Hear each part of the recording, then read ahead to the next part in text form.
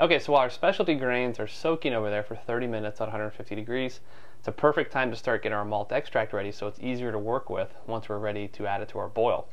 So first things, you know, if you have the canned liquid malt extract like this, what you want to do is peel off these labels, you know, it's just like a can of soup.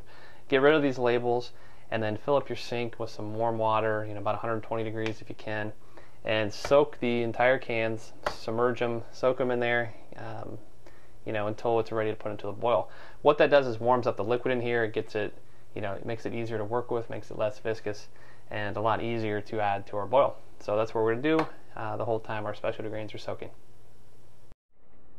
Okay, so we've got our specialty grains soaking for 30 minutes. We've got our malt extract soaking in the sink, you know, kind of warm it up and just get it less viscous, easier to work with.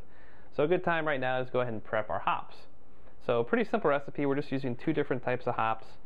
We're going to use the Hallertau's to give it the bittering flavor, and then we're going to use the Saaz hops at the end to give it some spice and some aroma.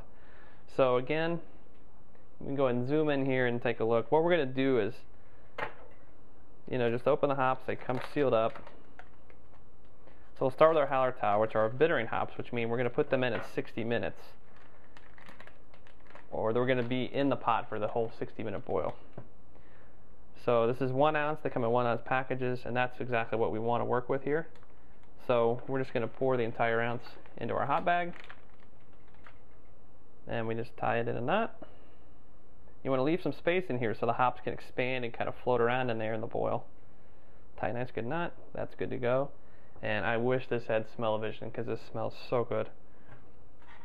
And our second hop we're going to use are the Saaz hops.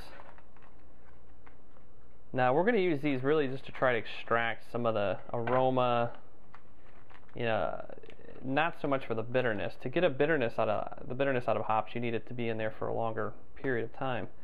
But if you add hops at the last 30, 15, 5 minutes, you get a lot more of just the smell, a little bit of the spice, and that's what we want to do with the Saaz. We don't want a whole ounce though, so what we're going to do is we just want to use a half ounce. So we're going to add it here to our scale here, that's a half ounce. And then we're going to get a different hop bag. We need to make sure we keep these separate. And there we go, that's our half ounce of finishing hops or aroma hops. Tied up with some slack, and that's good to go. So we just need to, you know, keep these in order and, you know, make sure, what I always do is I just put the, put them in order closest to the, to the boil pot. Um, so this will be our bittering. This goes in as soon as our water starts to boil. And this will go in with, I'll put this in with probably about 20 minutes left in the boil. That way we'll get a little bit of flavor out of there, but mostly just the aroma, the nose of it. So, okay, we'll check back when our specialty grains are ready to come out.